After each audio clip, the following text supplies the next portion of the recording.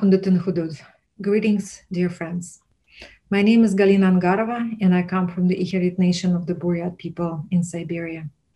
I'm delivering this message from the territory of the Ohlone people, where I live and work, and which is now known the San Francisco Bay Area.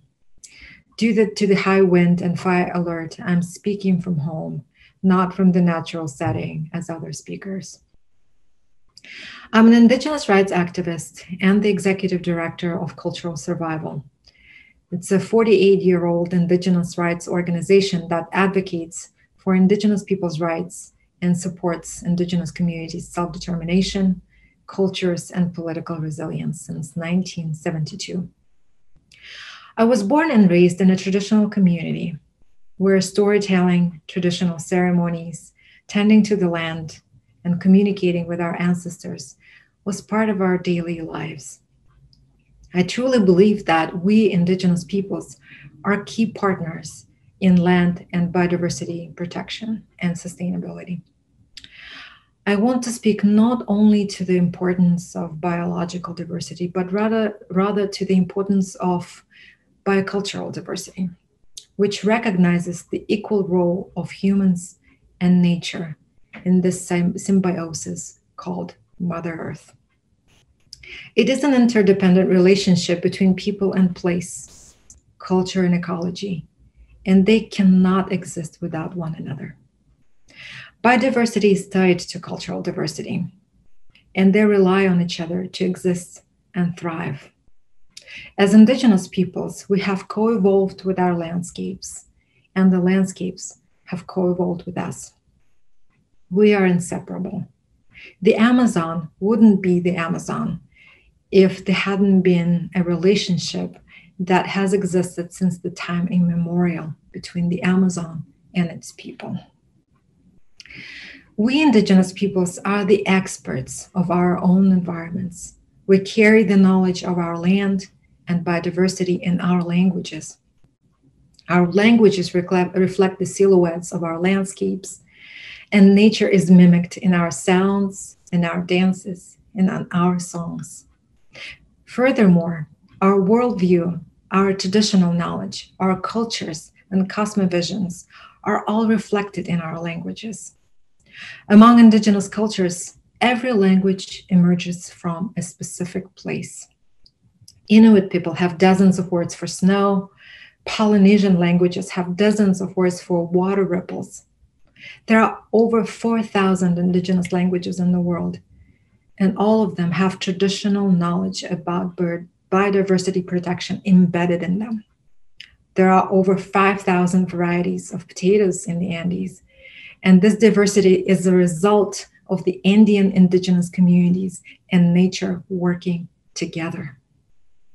And this is why biodiversity cannot exist without cultural and language diversity.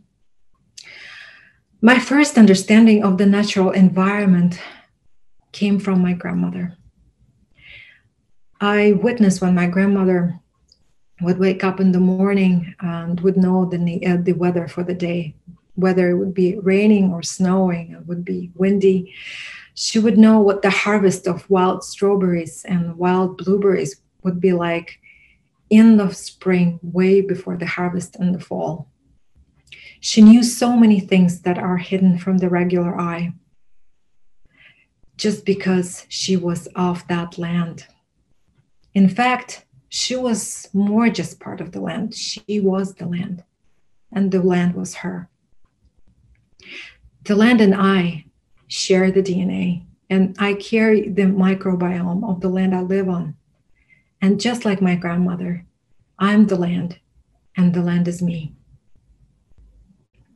The intimate relationship to your land and your environment is the basis of our Indigenous worldview, which in its turn provides us with a, with a set of instructions, values, and principles.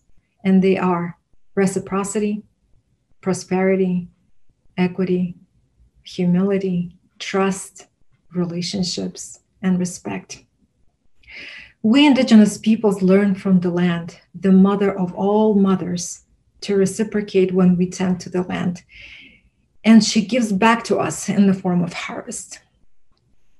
We take only what we need and give back to the life force that nourishes us.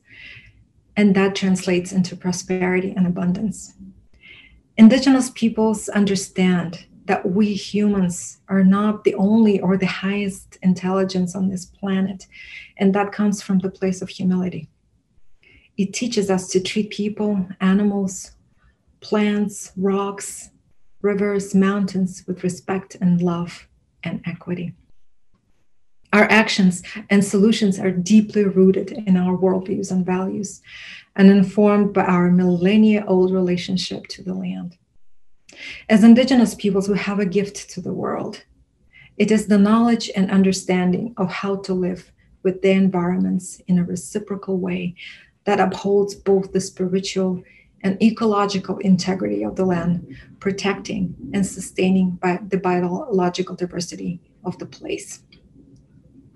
Recent research demonstrates that although Indigenous peoples around the globe uh, represent only 6.2% of the global population, they manage and hold tenure for almost 25% of the, uh, the world's land surface.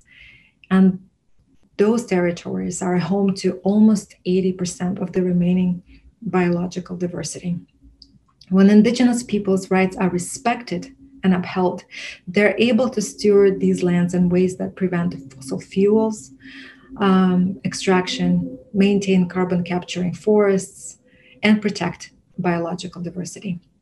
But to sustain our environments indefinitely, Indigenous peoples must not have not just a seat at the table, but their leadership and expertise should be centered, trusted, and honored.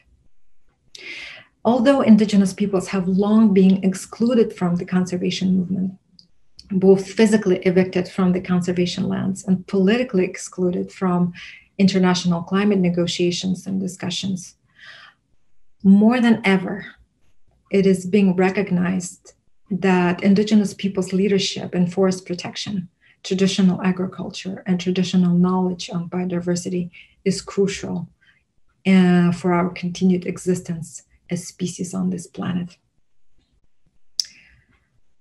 Moreover, social and environmental benefits and consequences are interdependent and interrelated.